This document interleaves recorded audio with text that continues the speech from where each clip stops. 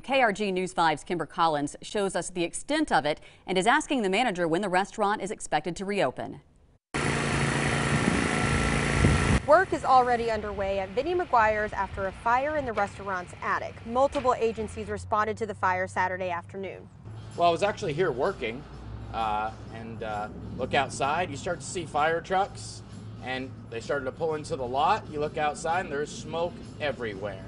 The pizza shop is located next to McGuire's Irish Pub on Highway 98. The main building was not damaged. It would have been a huge problem. I mean, the buildings are all connected. This is an old building, and there's brick here, but there's also a lot of wood, so it's it was pretty scary for a minute. The restaurant is roped off for the building to be gutted. Management tells me it was an electrical fire. No one was hurt, and they expect to reopen in January 2022. In Destin, Kimber Collins, WKRG News 5.